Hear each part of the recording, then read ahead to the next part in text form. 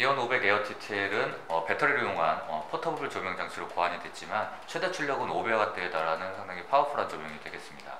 어, 조명 설정은 어, 2W부터 최대 500W까지 설정이 가능한데요. 9 stop을 10분의 1 stop씩 미세 조정을 할 수가 있는 그런 성능을 갖추고 있습니다. 어, 리차지 기능은 어, 최대 발광 상태에서 약 1.9초 정도가 소요, 소요가 되는 어, 그런 상태이고요.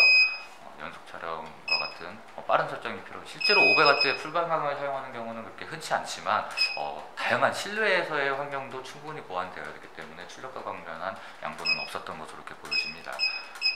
2W 작은 출력에서는 상당히 많은 발광량을 이용할 수가 있고요. 아무튼 전체적으로 어, 포터블 조명으로서는 굉장히 뛰어난 어, 설정 어, 출력을 갖추고 있기 때문에 소형 스트로보의 약 어, 7배에서 10배 이상의 어, 뛰어난 출력으로 어, 실내는 물론 실외에서까지 어, 강력한 사용을 이용할 수 있습니다.